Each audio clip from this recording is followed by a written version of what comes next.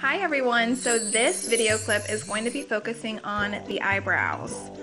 In this video I'm using our um, brow liner and our brow gel and basically they come in three colors. We have light, medium, and dark. The color I'm using for both is the color medium.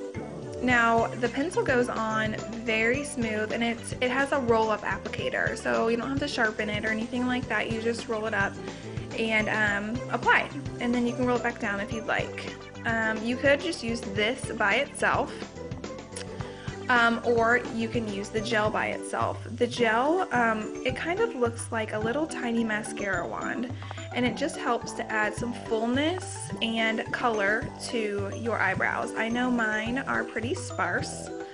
Um, so it just helps as they're right there you can see a difference um, makes a huge difference and I think the eyebrows just help to frame the face and um, just give it a little bit more dimension and just bring a little bit more color to your eyes.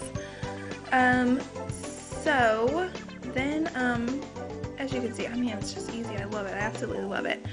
And then as well in this picture, um, in this video, I have um, our Tenacious Cream Shadow on by itself, which I absolutely love. And you can apply that like literally with your ring finger and just, uh, you know, swipe it on your eyes. It's lovely. It's crease proof.